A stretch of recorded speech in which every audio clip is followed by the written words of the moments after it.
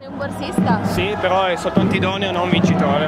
Cioè che io non sono tra quel 30% che posso ottenere la borsa di studio. Allora, siamo in piazza Bodoni per l'inaugurazione del non anno accademico, visto che non ci sarà un anno accademico. Perché... Allora, sono truccata così perché oggi c'è per noi la non inaugurazione dell'anno accademico, riprendendo il famoso cartone o racconto di Carlo Alice nel Paese delle Meraviglie. Noi non crediamo ci sia nulla da festeggiare oggi, nulla per cui valga una cerimonia ai lustrini della nostra accademia accademia torinese.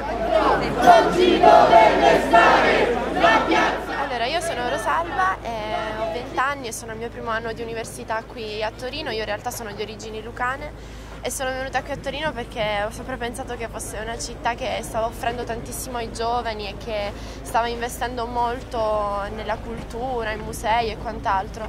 E poi sono arrivata qui e mi sono resa conto che invece la nostra università, probabilmente come altrove, anche in Italia, sta andando a pezzi di tutti gli studenti che sono stati dichiarati idonei a ricevere la borsa di studio solo il 30% la riceverà perché i fondi che sono stati stanziati coprono soltanto il, 70, il 30%, quindi i rimanenti studenti che sono più di 8.000 eh, si ritroveranno o senza borsa di studio o senza un posto nelle residenze o senza entrambi. Eh, pensate che ci sono dei ragazzi che eh, non hanno eh, dove dormire, dei ragazzi che sono finiti a dormire alla stazione di Porta Nuova per diverse notti.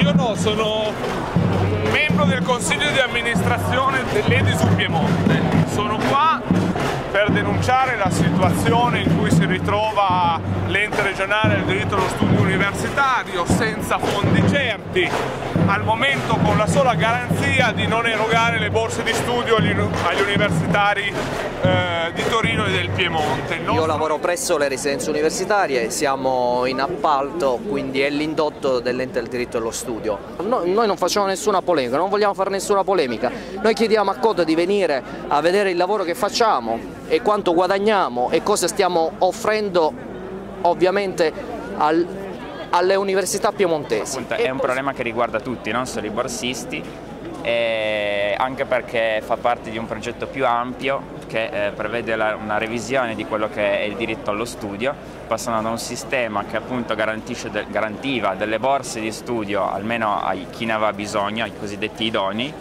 e eh, invece dall'anno prossimo quasi sicuramente ci sarà un sistema di debito d'onore che prevede ovviamente un meccanismo diverso, un meccanismo in cui eh, gli studenti che ne avranno bisogno saranno costretti ad indebitarsi per 30 anni, 40 anni. Appunto, io non avessi avuto le DISU qui in Piemonte non ci sarei mai venuta, nonostante sia valdostana eh, non avrei veramente potuto permettermi l'università, una casa e quindi ho usufruito della borsa di studio, della casa dello studente, del servizio mensa, tutto quello che c'era.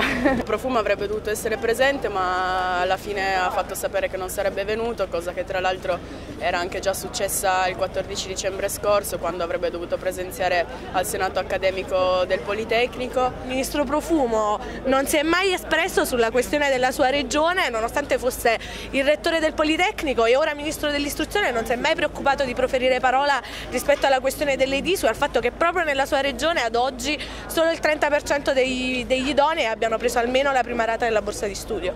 Noi sappiamo che dal 2009 al, al 2012 ci sono dai 27 milioni dato dalla regione a 7 milioni quindi non sappiamo quanto l'ente può reggere a tenere tutte le strutture.